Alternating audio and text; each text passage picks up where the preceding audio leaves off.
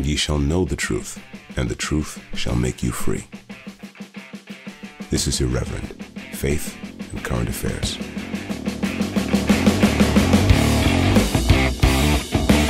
Very pleased to be joined today by none other than Justin Brierley. Now, Justin, I've not said this to you before, but this is this is quite something for me because I can't actually remember when I started listening to podcasts, but I'm fairly sure that Unbelievable was one of the first podcasts that I ever listened to, and I listened to it pretty religiously for a number of years. Um, and it was a great it was a great thing for me. I learned so much, and I think you did a you did a wonderful service for people like me, you know, Christians and people within the church, but clearly beyond the church as well, with people who are non Christians um, coming to faith, hearing uh, an intellectual or a rational arguments for faith, and so on and so forth. So it's it's it's quite an honor to have you on on this podcast. You know, many years later, as as a as I sort of see you as a trailblazer in the in the Christian Wow. past world.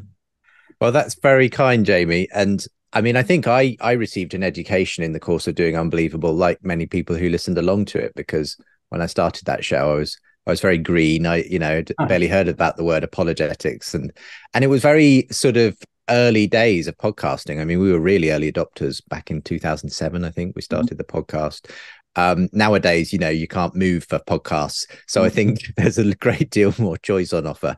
Um, uh, but it's great to know that the, the the show had that kind of yeah sort of effect in your in your walk yourself. Yeah, absolutely. And I think one of the other things about it is the way that you were able to bring together people with different points of view in um yeah, in a- in a really quite genuine way. I mean, there have been some of some episodes of Unbelievable that have got really spicy, you know, and almost sort of Mm. out, out of control. Um, but yeah, I mean, you always did a brilliant job of, of moderating. But yours was fairly civil, I seem to remember. It wasn't wasn't too it wasn't too spicy. no, it wasn't. I mean, it was it was a little bit. I, I enjoy, we did one on the on the lockdown with um Yeah, John Stevens, wasn't it? that's Um, right. um, yeah, I mean, I just wanted to be as respectful as possible of him because I was aware, you know, he's not an Anglican; he's coming from a different position. But at the Mm. same time, I still wanted to sort of push a little bit. Um, so I, I felt that was a really good uh, conversation, Mm, um, and it was it was great. It was great to be on. But I think that's such an important thing to to bring different points of view into dialogue, and I do believe that, you know, as a sort of principle. Um, that's where you get the clarity. I think there's too much sort of I mean, we'll probably talk about cancel culture and all that kind of stuff later on. There's too much fear around disagreement, around hearing points of view that might offend or mm, might mm. disagree with. Um, so I think that what you were doing there was was really important, in, apart from anything else, in in terms of demonstrating an actual an approach to dialogue, as it were.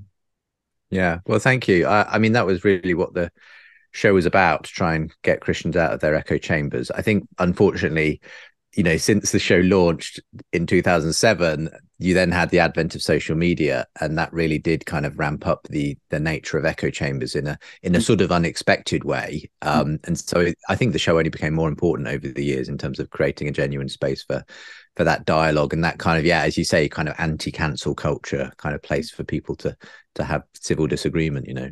Mm, yeah, absolutely. But now you've moved on, and Mm. you're, you're doing. You've gone on to pastors, and you've left. You left Unbelievable. You were there. What was it? Sort of fifteen years or something like that. So, That's right. so what, Yeah. what behind the decision, and what, what are you doing now? Well, it was just the right time. Um, there was a lot of things I would say that were were God sort of things that that led to the point where I felt actually it's the right time to move on. I Mm. I was really proud of everything I'd managed to to do through the show. We built a wonderful team of small team of people working on our resources, a number of podcasts, not just unbelievable video shows and so on. Um, but I, yeah, I think I was feeling like actually maybe the time's come for me to branch out a bit more independently. Um, sometimes it's a little bit easier to collaborate with people and do things outside of sort of you know being tied in with one specific organization. And so so so there were just a number of opportunities that i felt god was calling me to to go for and so i thought well maybe this is the time. So yeah at, at the sort of i think it was probably 17 and a half years in since we'd actually begun Wow. the show. Um because uh, yeah we began as a radio show before we even started podcasting you know so this was back in 2005 Mm. um yeah I, it was i had i i made a very bittersweet farewell to the show. We sort of did a a kind of look back over the years and the show continues in new hands so there's um sort of guest presenters who are currently at the helm uh they're trying a few different show formats at the moment but yeah i'm really enjoying sort of some new projects um I've been involved in um, launching a new podcast with the Centre for Cultural Witness, based at Lambeth Palace Library in London. We're doing called Re-enchanting. Uh, mm-hmm. We've got some really interesting characters. Anyone who enjoys Irreverend will probably enjoy mm-hmm. a number of the people we've we've interviewed for Re-enchanting uh, for season one. We're just in the process of recording season two for release this autumn. Um, I've been guest hosting on some other podcasts, bit of speaking, writing, but um, the big thing is is the launch of the book, uh, the surprising rebirth of belief in God, and I'm also working on a podcast documentary series that will also launch with the book in September. So it's uh, it's it's busy, busy, busy. Absolutely, absolutely, and um, just for listeners to say that we'll put links to all this stuff on the show notes uh, beneath the podcast or beneath the video on, on YouTube. So uh, do do check out uh, Re-enchanting Justin's new podcast and indeed the book, which is what we're going to talk about today. Now I've only got a, an electric copy of the book, so I can't hold it up. Do you do you have a do you have a, an actual physical? I copy? do. I do. Here it here it is for anyone yeah, watching on video. There we go. The surprising yes. rebirth of belief in God. Is there a subtitle? I was just there is there is. Um, in fact, the subtitle kind of is the thesis in miniature. Um, why new atheism grew old and secular thinkers are considering Christianity again. Yes, yes, indeed. And this is a sort of follow up, I suppose, to your first I think it was your first book, wasn't it? About um, what was it called? Why after what was it called? Why after ten years? Uh, well, the the the book was called After the Show Unbelievable, and the subtitle again was a long one called oh. was Why After Ten Years of Talking with Atheists, I'm Still a Christian. The problem, of course, with writing a subtitle like that is that it immediately goes out of date because it's now 17 and a half years of talking with atheists. Yeah. I'm still a Christian, but um, yeah, that that at the point where I was writing the book, it was about the 10 year mark of the show. Yeah, absolutely, absolutely. So we're going to get into this. I mean, I really recommend this book. I've I've read it cover to cover. I think it's really really interesting. In my in my show notes, I didn't actually share this in the notes that I, I shared with you just now. I just jotted it down. But I've written, uh, "Please convince me to be an optimist about the future." So that's, that's I'm hoping. I, I I get very much the sense that probably we see a lot of the same things, mm. but maybe we we're running them through a different filter. Yours is slightly more pessimistic, possibly more realistic. Who knows? Mine, minus more, slightly more optimistic view. But um, yes, I'm looking forward to, to chatting that through. Absolutely, absolutely, De- definitely. And I'm I'm open minded. I'd like I'd like I'd like to be an optimist, um, ultimate optimist, of course, because we both obviously believe in the return of Christ. Mm. It's just a question mm. of what's going to happen in the intervening time. Mm. Um, so anyway, let's let's talk a bit about the background uh, of of this of this um, phenomenon that you're talking about, the surprising rebirth of belief in God. So a lot of your work on Unbelievable and the engagement with the public conversation at first, I think, was around uh, the new atheism, uh, Richard Dawkins, you know, Christopher Hitchens, all of that kind of stuff, which which sort of seems a bit passe now. Um, mm. One of your the early chapters in the book, you're talking about um, the death of the the new atheist movement. So, can you just say a bit about that? You know, what what what did that look like, and and what's the state of new atheism now, as far as you're concerned? Mm-hmm. Well, I'm going to assume that many listeners and viewers are familiar with what the new atheism is, but the show, in a sense, the Unbelievable Show, was born into the sort of the, the early days of that. Um, the God Delusion hadn't quite been published, but when it was, it became the sort of defining thing that you know we often were reacting to the Richard Dawkins style of anti-theism, mm-hmm. and that obviously was riding high in bestsellers. There were atheist conferences. There was a kind of thriving online community around this. They were getting lots of headlines. Um, there was even, you know, the atheist bus campaign. You may remember that, you know, London buses circulating saying there's probably no God now. Stop worrying and enjoy your life. Um, but it did sort of fizzle out um, over the course of about a decade, I'd say. And I noticed this especially in terms of the shows that I was having, having begun the, sh- you know, the first half of the, if you like, the life of Unbelievable was these quite bombastic debates between these new atheist type characters and Christian thinkers um, I gradually noticed more people saying, well, I'm not really a Richard Dawkins kind of atheist. Mm. And I also noticed the emergence of a lot more people who were willing to give Christianity the time of day, um, you know, who weren't, who were not necessarily Christians, but they were aware of the cultural value of Christianity. They believed that actually believing in God wasn't a complete delusion. And and I began to have more and more of these conversations with these people who were still secular, but these sort of, you know, but just more open to Christianity, really.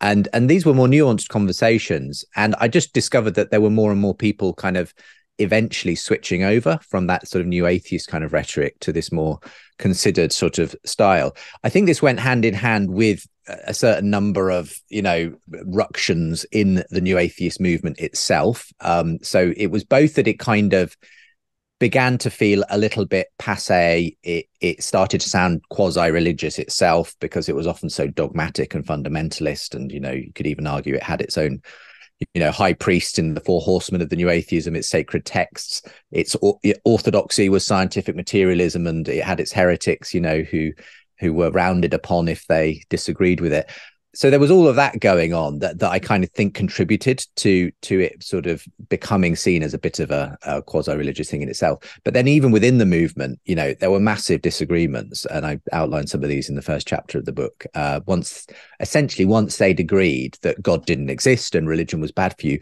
the new atheists uh, couldn't really agree on much else. There was no really positive ethic that they were able to build, and mm-hmm. some wanted to go in the direction of a kind of very rights based social justice kind of direction, sometimes labeled atheism plus, and the plus denoted, you know, including women's rights, LGBT, race, and so on. Others felt this was just taking the whole movement off course. It was, you know, politically correct ideology. And they just wanted, you know, an oasis of free thinking and reason. Um, and they kind of, you know, started to react quite strongly against that. And so the infighting in the new atheist movement actually quickly overtook the kind of battles they were fighting with Christians, ironically, to the point where you know, many of these atheist speakers were no longer willing to share a stage with each other. Atheist conferences were being cancelled. There were all kinds of controversies in the online sphere, the blogger sphere. Richard Dawkins kept making gaffes on Twitter and being cancelled by his own side for various reasons. So it was a kind of, um, yeah, a movement that sort of unraveled almost as quickly as it had begun with these sort of best-selling books that that sort of launched the movement itself. And and i was sort of watching from the sidelines and just just fascinated in a sense that as it became more religious in nature it kind of suffered the same fate that so many religions suffer of sort of undergoing splits and controversies. And, and eventually that to some extent i think contributed to it becoming a bit of a yeah a, a spent movement in the end. Mm, yeah, I mean it's it's it's amazing the the new atheist thing. I think. I became a Christian in two thousand and six, and um, I think it was 2006. Can't quite remember. I think it was baptized in 2006. Um, and I remember looking at the book, The God Delusion, and, and, sort of almost feeling slightly worried about reading it. And I, I, did, I did read it, but it just became clear to me immediately, even though I wasn't, you know, I'm sort of studying philosophy and stuff like that. I didn't know all that much though, but it became clear to me quite quickly that this was very vacuous and very shallow.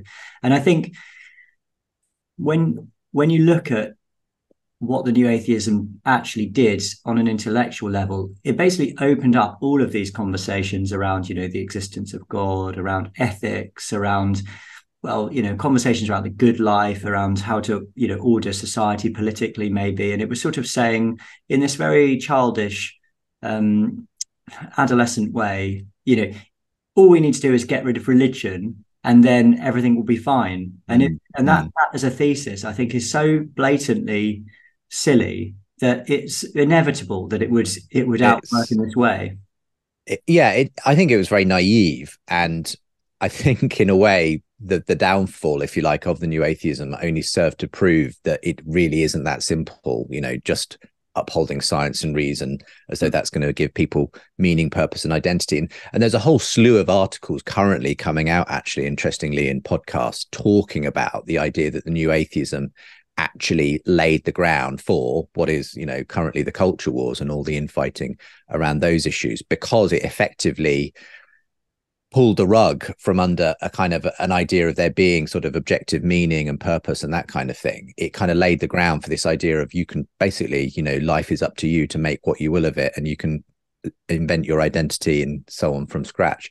But yeah i'd say that the, the new atheism itself was not a really intellectually robust kind of thing. It had some popular speakers. It, you know, it had good rhetoricians like Christopher mm. Hitchens, yeah. uh, who were great for a soundbite. You know, it, but it essentially traded in slogans more than intellectual ideas. And mm. you know, and as I outline in the book, it actually ducked very frequently. These characters ducked actual you know robust philosophical exchanges with some of the leading christian thinkers of the day so it was um it was yeah kind of like the teenage atheist phase almost of, of atheism um in, in an ironic way it, it, the the fact that the old atheists were a lot more serious in a sense than the new atheists who who kind of were your teenage atheists almost. Yeah, and yeah, just a very shallow engagement. You know, I remember um, Richard Dawkins' engagement with Aquinas in in the God delusion. It's very it's very um, embarrassing almost because he he just clearly doesn't understand Thomas Aquinas' five ways. Um, really, really embarrassing for, for a man of his level of intellectual sophistication to be to be doing that. Well, I think the problem was, in a sense, was that he didn't even feel like it, he needed to hmm. understand it. I mean, I hmm. think the, the the sense you get in the book and when you hear him talking about these things is is he thinks theology and philosophy is, is just a kind of ridiculous subject anyway. You know, it, it, can't hold a candle to science, basically. So the fact that he, you know, essentially subscribes to a kind of scientism um, means that he was never going to be bothered to put in the work of actually try to understand these arguments. You know, so yeah, the you know he he deals in with the ontological argument in about a page in the God delusion, as though you know that's going to sort of yeah. sort that one out. Um, so it's it's kind of it is kind of ridiculous, and many people have pointed out that you know that's what you get when you mm. ask someone who's a biologist to write a book that's essentially a philosophy and theology book but but it was still an international bestseller and that can be frustrating for for actual theologians and philosophers but that, yeah. that's that's life. Absolutely. Yeah. And now that i think about it actually it was dawkins that that really um, introduced me to david bentley hart who i read his um, book um, atheist delusions uh. I was just blown away by by the critique of of um, of new atheism, and then his subsequent book, The Experience of God, and and Hart really for me. I mean, he's I think he's gone a bit you know a bit funny in recent years, but he's been he's been massively influential for me mm. to this particular conversation. So um, so so helpful on on making those kind of um, you know those those classical or at least the arguments or at least the articulations for the you know the classical view of God so clear, mm. and in contrast to just the the silly kind of anthropomorphic understanding that somebody like Richard Dawkins has I mean, the experience of God basically demonstrated for me, to me, that Richard Dawkins and co just don't understand what the Christian God actually is. They don't, on a basic kind of conceptual mm. level, mm. they don't understand. Um, the, they don't understand concepts like necessity, for example, and, and contingency. They don't understand what we what we what we say when we're talking about the the being of God and the being yeah. uh, or the being of beings being contingent upon his being and all this kind of stuff.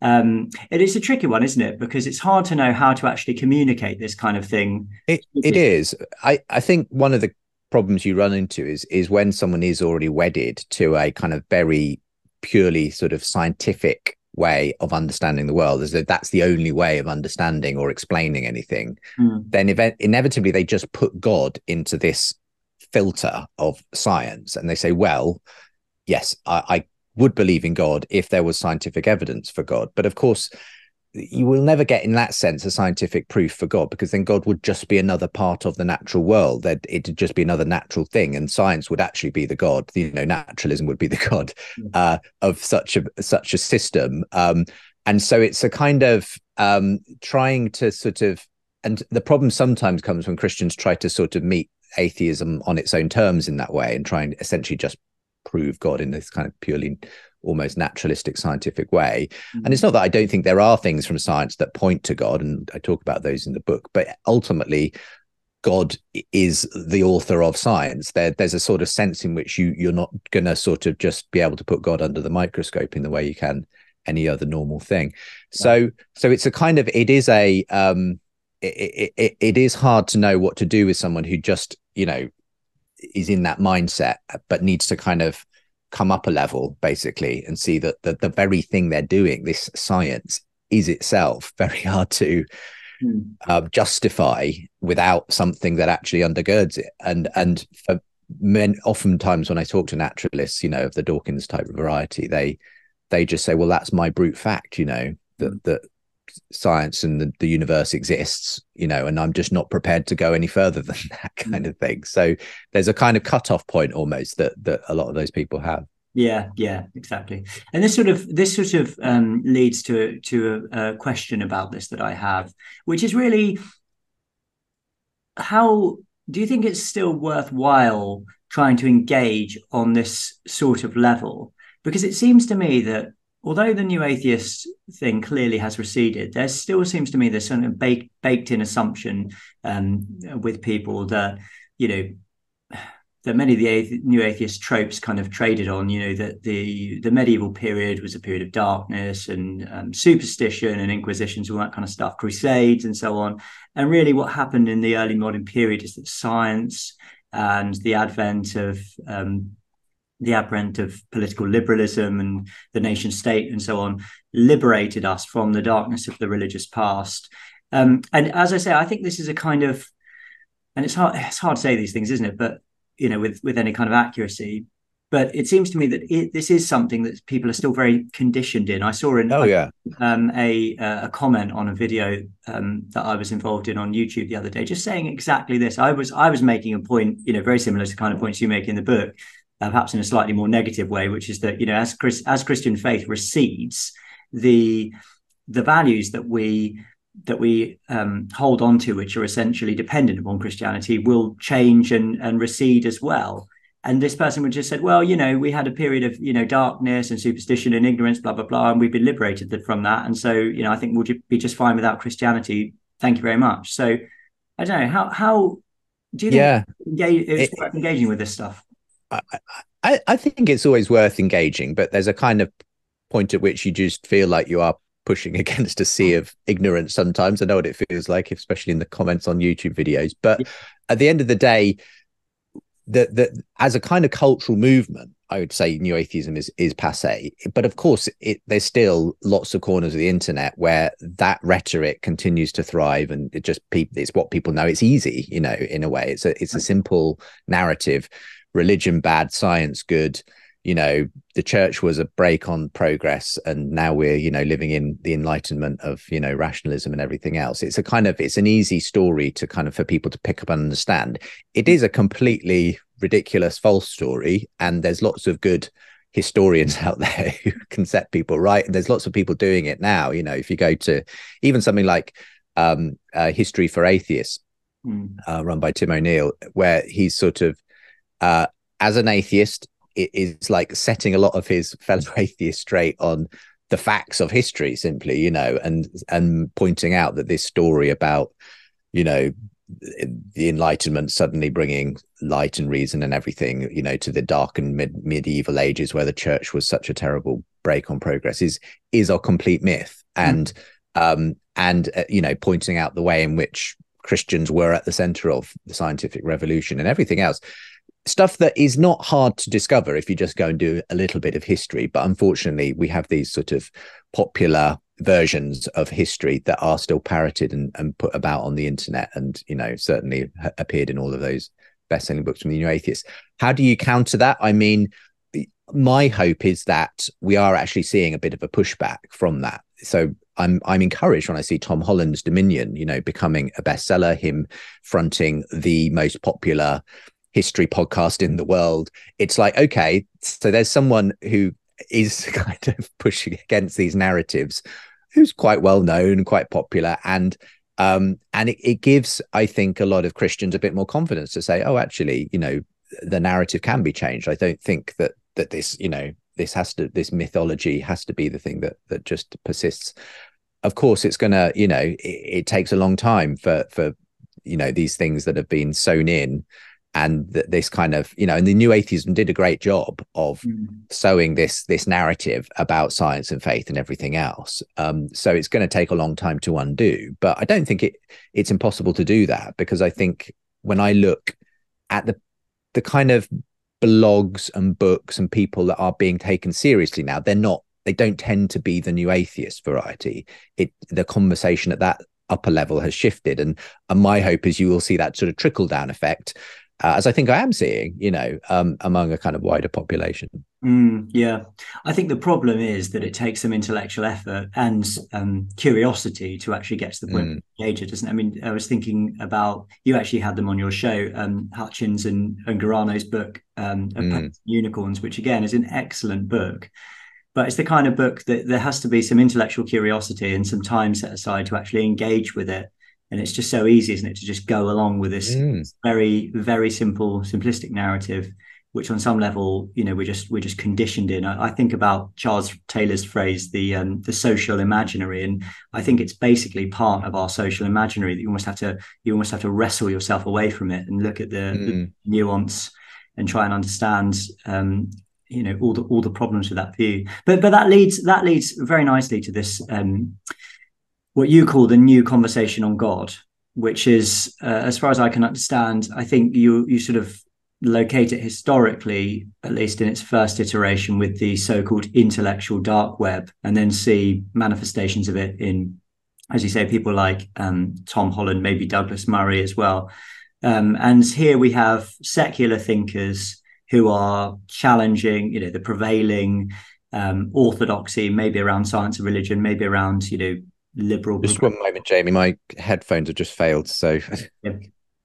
uh, they, they, they were low on battery. Hang on, I just need to swap to. Uh, it's okay, no problem. A new set of headphones. Apologies. You might have to. Yeah, it depends. It depends how professional. that question up again. Depends how professional I'm feeling, but I may edit it out. I may just leave it in for viewers' interest to see you change your headphones. I can't hear anything you're saying. It. That's okay. Just uh, swap over. Uh, right, I can hear you again now. Great. Um, yeah, no, I was just saying that obviously it starts with the intellectual dark web. Then you get people like Tom Holland, and these secular things are kind of challenging the pre- prevailing liberal orthodoxy around science and religion, maybe around sort of political liberalism as well in interesting ways. So, I mean, can you tell us how you see that new conversation on God? You know, where did that start? Um, what's the state of it now, and why why do you find it encouraging? Because I think one of the one of the slight pushbacks that people might have on that is, well, it's it's good that people are sort of recognizing this. You know, your your Petersons, your Hollands, your Murrays, mm. etc. These people still aren't Christians, and mm. they're not really. Well, I guess there's a question there as to how, to what extent they're actually promoting Christianity uh, and to what extent it's it's helpful what they're doing. So I don't know. Do you have? I'm sure you do have thoughts about that. I do. I have lots of thoughts about that. Um, I think. I think there was this basically swing back of the pendulum against the new atheist kind of rhetoric and mm. dismissiveness of God and religion. Mm. And it I think it happened sort of almost quite quickly while new atheism was still riding high, but it's it's kind of it's increasingly happened where more and more of these secular intellectuals are kind of recognizing that they just threw the baby out with the bathwater that that they kind of by labeling everything religious bad it was simply a huge overstatement simplification very naive. And um, and so you got like characters like Jonathan Haidt, who you know, secular psychologist, sort of publishing books essentially you know on the, the way that religion can be good for us and the kind of ancient wisdom of scripture and the things that sort of you know give people um you you obviously have jordan peterson who kind of rolled into town and was this sort of dramatic character who suddenly seemed to be drawing a very similar audience to the ones that had been turning up for the new atheists for several years. And he was filling lecture halls you know on with 3 hour lectures on the book of genesis. And lots of these young men turning up looking for meaning and purpose and identity and suddenly being told well hey there's this uh, book called the bible and it just seems to perfectly encapsulate everything that is meaningful for life today. Um, so and and and you know and very explicitly being set against the new atheist sort of idea that, that we need to jettison all of this. Mm. um, yeah and and that intellectual dark web movement kind of it was it was a mixture of things going on. There was a, a certain amount of it was just kind of an early form of the kind of anti-woke sort of um, politically incorrect kind of folk getting together and sort of saying things that they wanted to say without being cancelled. But at the same time there was a flavor in it which was which was kind of like also well let's let's let's be a bit heretical about everything. What if religion isn't that bad for us? What if actually there's there's some good stuff here? And it was just interesting to hear that kind of being voiced. And so you would have these sort of you know within the idw you know sam harris arguably was one of those members but he mm. was on you know in these big arena debates with jordan peterson essentially debating god you know for four nights with tens of thousands of people watching. And i found that quite exciting and invigorating. And i thought you know well Jordan Peterson isn't a Christian, but he certainly kind of seems to be coming out in favor of the value of Christianity and not sort of you know just dismissing it and uh, and likewise i then discovered you know that i mean the idw kind of was a phrase that got used for a while for that movement. I'm not sure it exists per se in that in that way anymore. It's more just you tend to see it's kind of morphed into the kind of more kind of anti woke, mm. you know, arguably conservative side of Twitter and social media and mm. the blogosphere and podcasts and so on versus the kind of progressive left sort of side. And um and in a sense there's a kind of religious element to that. There's there's this kind of interesting point where a lot of those thinkers are saying, well, the problem is that, that we've kind of created this issue in the West where we live in this morass of varying opinions, different identities, and everything else. And I think they're kind of recognizing that there was this value to the Christian faith because it kind of gave people a sort of solid identity and story to live into. And they're wondering, well, given that we live in a post-Christian age, what are we possibly going to do to replace that? Because it feels like we had, haven't got any equivalent story that can actually give people that sense of purpose and meaning.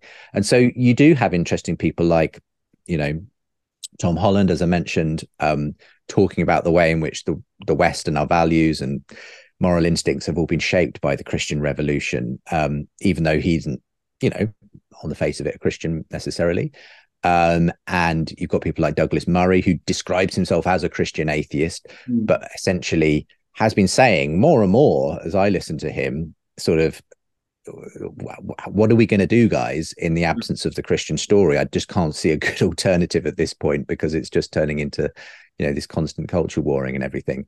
Um, and then uh, uh just a whole host of other people that I've been coming across who are sort of edging in that direction, who are kind of picking that up and then just discovering kind of on the ground a whole lot of people for whom these thinkers have been a kind of gateway drug to either taking Christianity more seriously mm-hmm. or walking through the door to yeah. Christian faith. You know, people who have actually sort of gone all the way, even further than some of these people themselves have. Yeah. Um, you ask, why aren't they Christians? I mean, I would say that actually a lot of them are on various different points in that journey. I think some of them are, to all intents and purposes, Christians. They just maybe haven't been very they haven't worn that on their sleeve or or kind of they they hold it in a maybe a different way to an evangelical or very sort of you know overt christian others i think are holding it at arm's length mm. but they kind of they they struggle to deny the, the the, the cultural importance of christianity even if they they don't feel quite able to subscribe to it as a sort of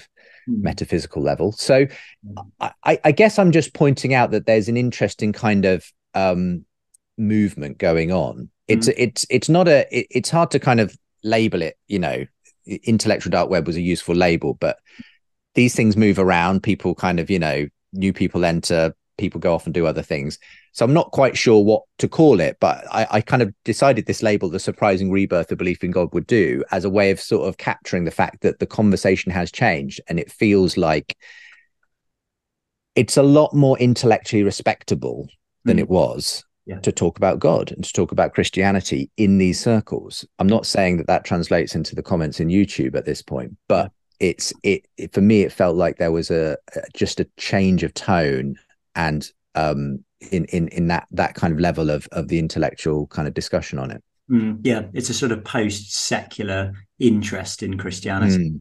And I think the, the point of agreement, a strong agreement uh, for me with your book, is when you talk about the insufficiency of recognizing the cultural value of Christianity, as much as that's a good thing to recognize that, um, it's not actually sufficient in order to answer the problems that people have. You know, you talk about the meaning crisis, for example. It's not really it's not really sufficient to to answer that at a deep level, at a sort of um, just trying to the right phrase, at a kind of full level, mm. deep level. And I think that's that's the point which I which I have strong agreement with you. If you if you look at somebody like Tom Holland, he talks about i've heard him talk i've read his i've read dominion twice and i've read some of his other books um, and i've listened to him talk about the way that he recognizes that his what he describes as his liberal beliefs are derived from christianity. He recognizes that as a kind of contingent historical fact.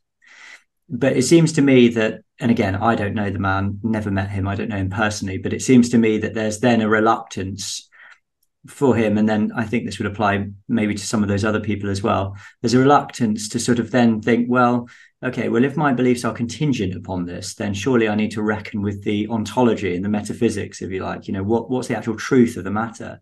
And if my if my values are just what I prefer, then um, doesn't that say something about the objective reality or you know the basis of these values? So I've got to really answer this question on on. Mm.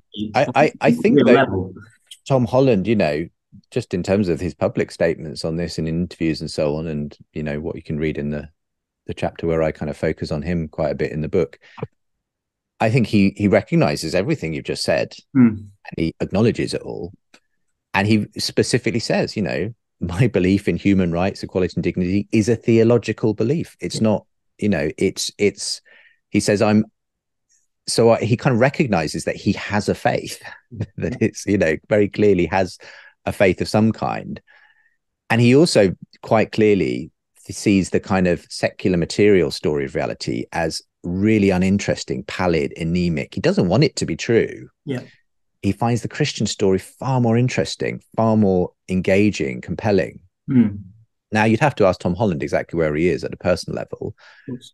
I think, you know, again, I think it's as a matter of record that he he actually is a communicant member of the Anglican Church now. And to that extent, he, I think, has said, well, look, I've got my doubts. Mm. We all have. Mm. but I'm, I, I, you know, I want this to be true. And there's always going to be a leap of faith at the end of the hmm. day. Yes. So I think, I think what I, but what I really, you know, regardless of where Tom Holland happens to be at a personal level on this, what I, I really value about what he's doing is he's just pointing out to people that they have a faith. Mm. Um, now that's interesting because he's a historian who's simply saying, look, this is where your beliefs and values came from. Okay.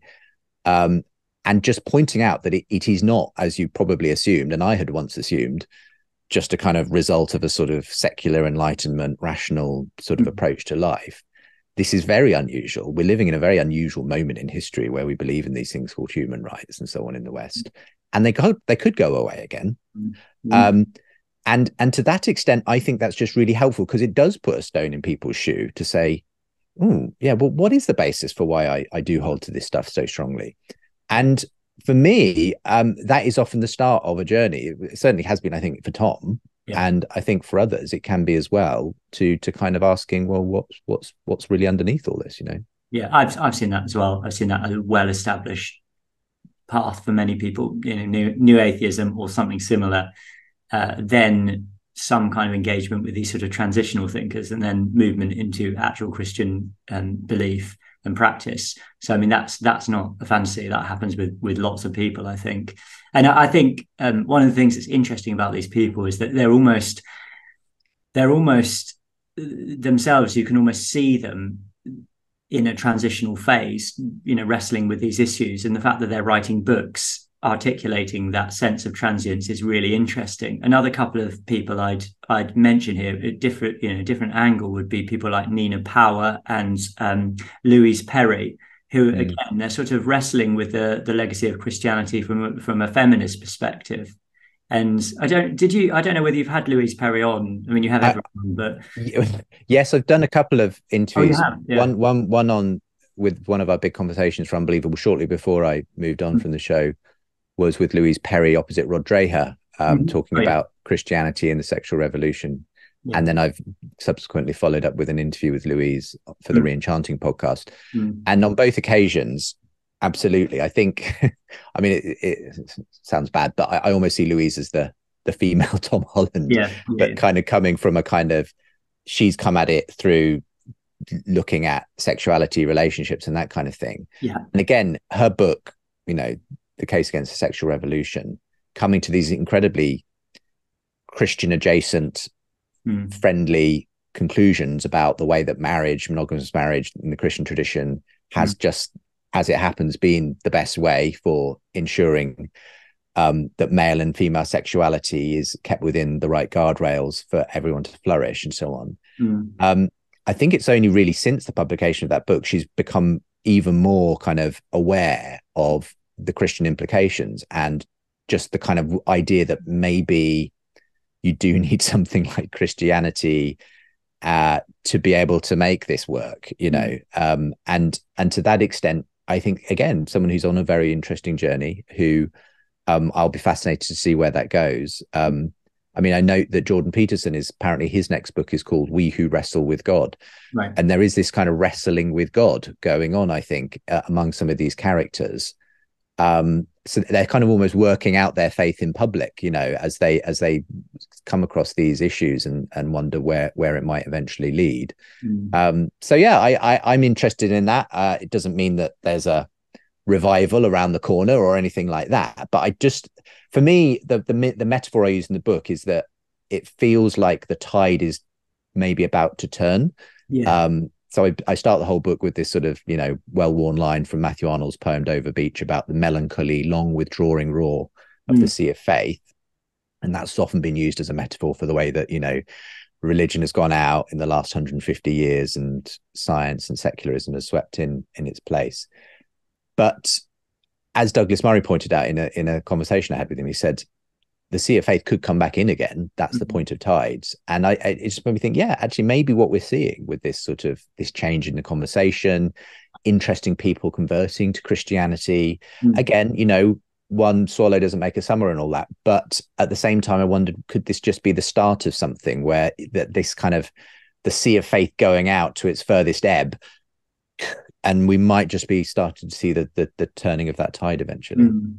Yeah, and I think the the case against the sexual revolution is a really good um, point, uh, case in point, because um, I mean I found that book deeply shocking. You know, I mean, I, I I didn't think of myself as a naive person, but I read that book, and I was just um, I was I was almost disgusted by by the things that that Louise Perry details in it um yeah not not not because it's a bad book but because it's a very good book and it makes, it's a very honest book. Yeah exactly. It, it, makes things very very explicit about about where people are at in terms of the brokenness and you know frankly the sinfulness of of this of what they do with with their sexuality and with with the gift of sex and all of that kind of stuff.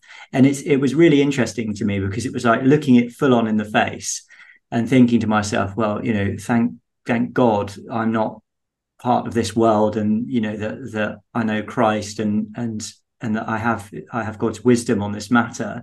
Um, and then it was really interesting getting to the end of the book where Louise offers this um, sage advice, and it, it is sage advice that she gives, but at the same time, one is left feeling there's a kind of radical insufficiency here. You know, there's there's more to this than just saying. Well, it, it's interesting you say that because I talked to her about the advice she gives towards the end of the book, which is essentially, you know, basically don't get into bed on the first date, kind of, you know, wait a bit. Um, uh, try and sort of, you know, be more discerning about your sexual partners and yeah. and this sort of thing.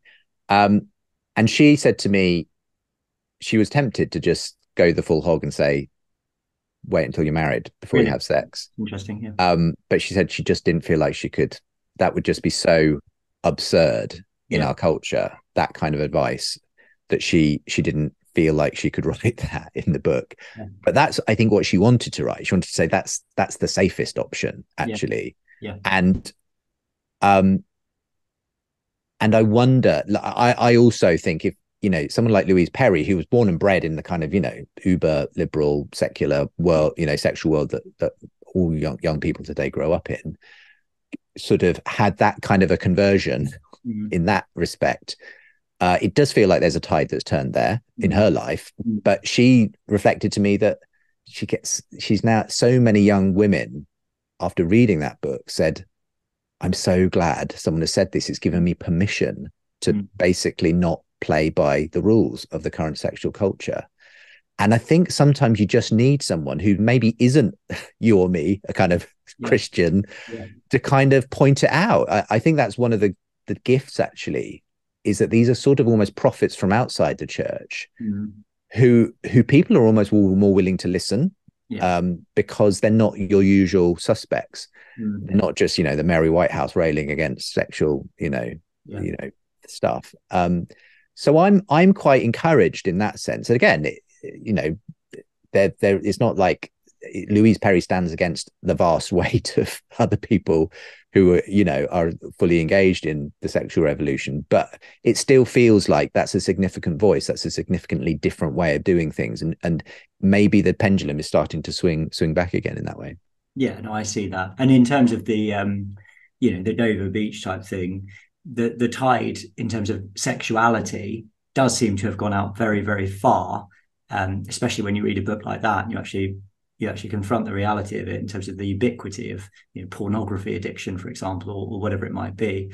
Um, many of the other things she talks about, um, and one can see that lots and lots of people are very, very broken, damaged, utterly miserable because of it. And so then there's an there's an opportunity there uh, for somebody like Louise to come along and say, well, you know, there is an alternative way of thinking about this and then that sort of opens up all sorts of interesting conversations.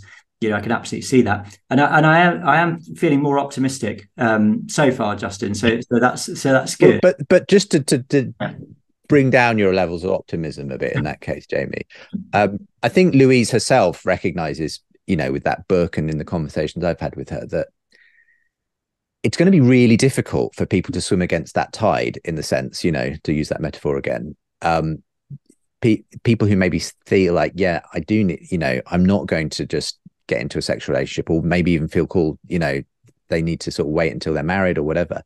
She says, because that is just so absurd and bizarre in our culture at the moment. And and you can't and i think she recognizes that without something like a christian community helping you to do that it's very hard to do it by yourself and this is where i think there is this thing of like that these these interesting intellectuals who are saying this stuff is so useful you know all this ancient wisdom turns out you know might might have had some value to it and and so on mm.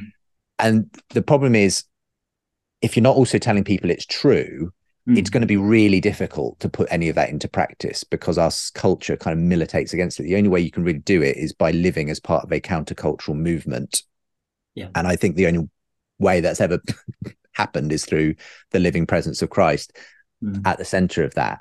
So I do think there is still this question of how much how helpful is it ultimately going to be pointing out this stuff if we don't also embody it, believe it's true, and kind of live by faith in that way.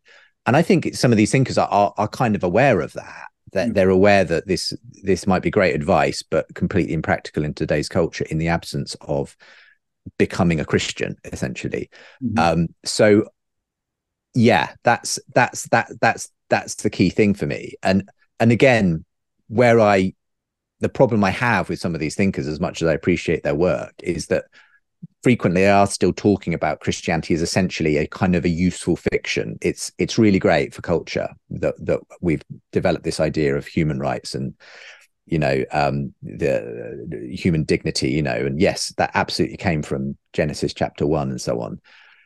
But if you don't believe that that is actually the case, that it's just a useful fiction, um, it, it's it's much harder to defend that and to kind of um, live that mm-hmm. in a culture.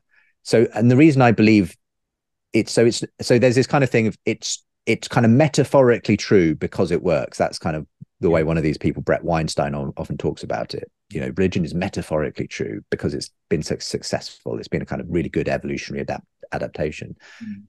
But my, I would flip that. I would say the reason it works is because it's true, literally true, uh, in the case of Christianity. And I think that that sometimes that's the direction that people need to get to seeing that that, that it's not just a, a really happy coincidence that this stuff happens to produce the kinds of cultures that people seem to want. It's it's because it actually is true and and that's kind of the simple point i'm almost trying to drive home is that that these thinkers have kind of got halfway there but they, they haven't sort of put all the pieces together in that way. Yeah yeah yeah. I mean i'm i'm on exactly the same page. And and um the the other thing you say there um really about um about you know the living presence of Christ being at the center of, of any kind of rebirth that might happen really relates to the church, doesn't it? So I mean, this is something that we talk about a lot on Irreverend. Um, if you take that, what we were just talking about in terms of the sexual revolution, um, you've got somebody like Louise Perry coming along and saying that this is this is all wrong. It's going in the wrong direction. We need to rethink this. We need to have a radical rethink. Perhaps we even need to adopt re-adopt Christian values and so on and so forth. It's a bit of a shame then when the church, at least, well, the Church of England, I would say, is is um, is so fuzzy and unclear about this this kind of thing. I mean, particularly um, in recent days, and not just in the matter of sexuality, but in the matter of everything. It seems to me that the church just needs to be far more confident and distinctively Christian, so that when people actually have these questions and when they're on these these quests for truth and and meaning, that we've actually got something to say to them, and we've got we've got mm. something to offer to them, which is different to the culture. Uh, what do you think about that? I, I, I think I agree. Um, and it's actually reflected back to me again by these sort of prophets from outside the church who mm. say, well, look, if you wanted me, if I was going to become a Christian, if I was going to go to church, it would have to look different to the culture. If it's just a kind of warmed over version of secular humanism with some God language sprinkled on top, that's not going to I can get that outside of the church quite easily. If and it's that thing of if the church just reflects basically whatever the contemporary standard of culture is on sexuality and ethics and so on, it doesn't look attractive to people who are actually looking for a different story. So there's this sort of repeated theme among many of the people I've spoken to of the sort of keep Christianity weird mm-hmm. kind of thing. Mm-hmm. Um, and yeah, of course, it creates a higher bar for people. It makes the church unpopular on social media and it does all of those things. But my feeling is if you do kind of go down the route of just accommodating the culture in that way, you, you're you're moving the deck chairs on the Titanic. It's you're you're on a sinking ship basically, and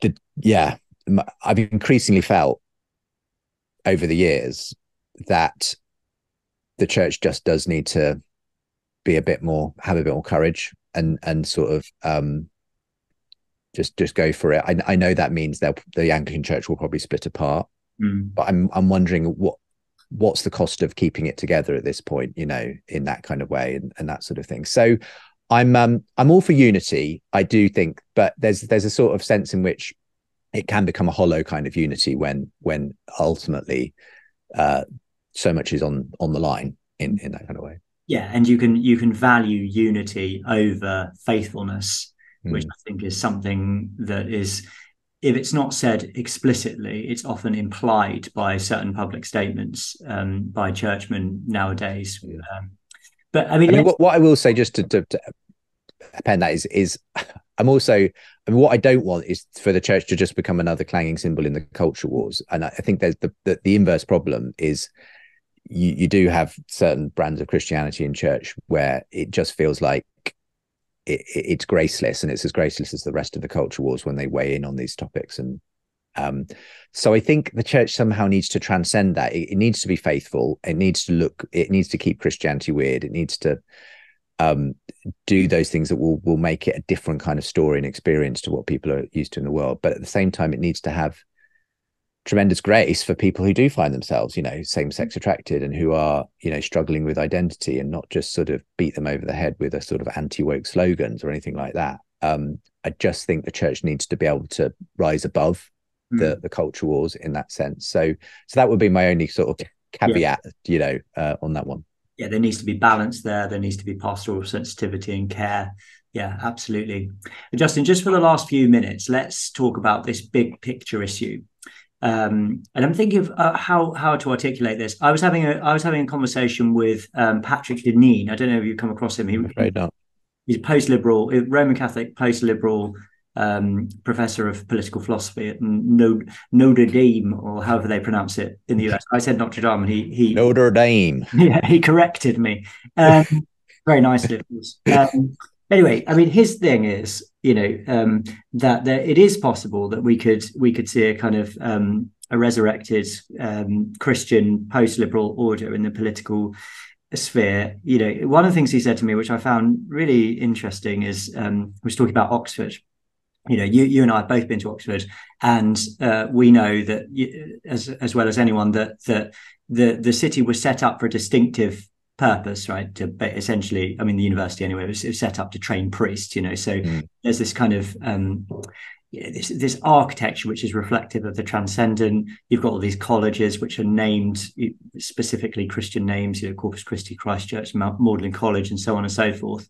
Um, and so, so there's a there's a whole sort of order which is which is embodied in the in the architecture and the nature of the institution and so on. And now that's thoroughly that's thoroughly changed. You know, people mm. formed in different ways now in in secular universities, including Oxford, for different reasons, for different ends. Mm. Um, new buildings are built which are which are horrendously ugly and, and jar um, awfully with the with the medieval architecture of the city and seem to seem to reflect a completely different kind of secular immanent vision of of reality. But Deneen says Oxford did happen at some point, you know, and it mm. could happen again in some kind mm. of you know post secular form. We could there could be a new Christendom, there could be a new flowering of of religious faith. It happened once. There's no reason why it can't happen again. Um, but the the thing that he said in terms of pessimism is that it's it's quite easy to see the the current I mean, he's a post-liberal philosopher, so so he would have a very strong critique of of the liberal order from the right and the left. But it's it's very very easy to see the liberal order just limping on in mm. the way it's going on for a very long time. And one of the reasons that he um, that he says that it's it's easy to see this going on is because of the increasing zombification of of the human race you know the iphone was invented in 2007 and now if you look at you know the generation below us uh, you know 30 and under you know especially like teenagers it's like it's almost like they're plugged into the matrix you know they can't they can't you know uh, they can't think about anything transcendent or anything uh, politically important because they're just they're just looking at you know whatever mm. it is they look at nowadays tiktok or whatever the, the latest social media is and it's it's like this is this is killing any sense of social responsibility or spirituality or or need for transcendence so this is a completely sort of ubiquitous phenomenon if you look if you look around you know my my window here in my office looks out to the street. Almost everyone who, walk, who walks past is looking at an iphone. So there's there's this sense of the kind of um, quiescence and distraction of people that that keeps them that keeps them from really engaging with any deep conversations. So he that's the kind of pessimistic a- aspect of it. And then you know the and the things that I point to, which which which I think are worrying are are things like you know I said in the notes I sent over to you you know the the aggressive incursion of the transgender ideology into the public sphere in only the last five six seven years. You've got increasingly um, acceptable levels of uh, euthanasia you know in in if you look at what's going on in Canada in certain places in in Europe you know euthanizing children euthanizing depressed people you know all this kind of stuff. You've got industrial level abortion really across the whole world um, you've got a, a, political order which is really dominated by um, by secular liberalism, you know, no real sort of explicit Christian representation in the UK. It's a little bit more mixed, obviously, in America. You do have populist pushbacks in the form of, you know, Trump or Brexit, what's going on in Italy, but it doesn't really rem- amount to anything sort of Christian, really. It's more a kind of, I see that as a more kind of um, just a, a rejection and an expression of of anger with with the current with the current order and so I so on the kind of big picture level, I mean, I I hear what you're saying about these um these these thinkers, and I'm I, I agree with you. It's really encouraging, and it's so it's so helpful that they're saying what they're saying. Mm. But on a big, big big picture level, it looks like the world is moving yeah. in a different direction, in a very very confused and dark direction. So I, I agree with everything you've said. Basically, um, I and I think that um, yeah, I mean it's it's like when you look at it that way, it's like there's there's it feels like an unstoppable tide, and technology, as you say, is such a significant part of that. And I think it's the reason essentially why things like transgender have accelerated in kind of ways that would have been unthinkable, you know, a generation ago for for sort of the rapid pace of change in public perception of that and ideology and so on, mm. um, is because you know technology allows these things to kind of proliferate in, in a way that they couldn't do before. Um, all I, I guess, all I can say to to bring my optimist sort of point of view to meet your pessimism there, Jamie, mm, is that is is the thing that we both agree on. I think, which is that God is in control, and uh, that that we have seen, as your friend rightly noted, the death and rebirth of Christianity at various points in the past. Um, I was also distracted by my iPhone. Speaking of iPhones, just because I was looking up mm-hmm. the the motto because I couldn't remember off the top of my head for Oxford University. It was founded though with the words of Psalm 27, Dominus illuminatio mea, the Lord is my light. That's still there, you know, under all the the sort of the banners and the crests, you know, associated with Oxford University. Now, who knows? Maybe someone will get around to cancelling that as well. But the the point is, uh, I agree with your friend. Oxford happened. Oxford University happened. That you know the the transformation of a culture happened mm. from a pagan to a Christian culture. Um, but it happened over centuries. Mm. You know, this was not a kind of one time deal, and mm we have seen just in the last 100 years 150 years a kind of rapid secularization of culture sweeping across the west but again the big picture is that's 150 years in a 2000 year period mm. who knows what the next thing will be hmm. my my kind of optimistic thing is that we might just be starting to see something emerging now mm. um, and what that will look like who knows but i i just the, the optimistic side of me is just that faith side that actually God is not done with the church. God is not done with humans. God is not. Um, we we are living through a specific moment in the church in the West in history when we have decided that God doesn't exist for a while and that we can all invent ourselves from scratch. And we've created these devices that really help us to kind of distract ourselves and mm. anesthetize ourselves and sort of everything else. Um, we are, you know, as Calvin said, perpetual idol making factories, and, and that's as true today as it was. But the early church was surrounded by a completely non-Christian culture, a completely pagan culture, which in various respects did resemble aspects of ours today. We've just dressed ours up with a lot more technology and uh, and so on. Um, and yet, you know, twelve people changed the world essentially. Um, and I think that can happen again. Chesterton talked about the history of Christianity is a constant death and rebirth, um, and it, it, survived because it has a God who knew his way out of the tomb. I think is the is the phrase, and I just think that that that's what we're seeing as sort of this moment in history. It's probably going to get worse. You know, it's probably not going to look pretty for quite a bit.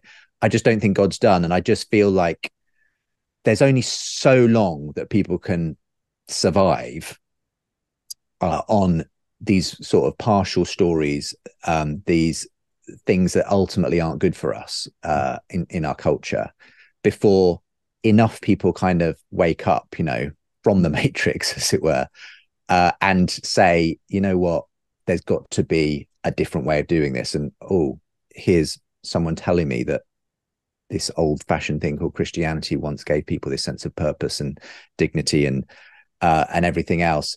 And and I just yeah, I my my optimistic thesis is that people can't live with the idols and the stories that they tell themselves for very long because soon enough it just it just becomes unlivable it becomes unbearable mm. and we will see the christian story as it has in the past will will come back again i think mm.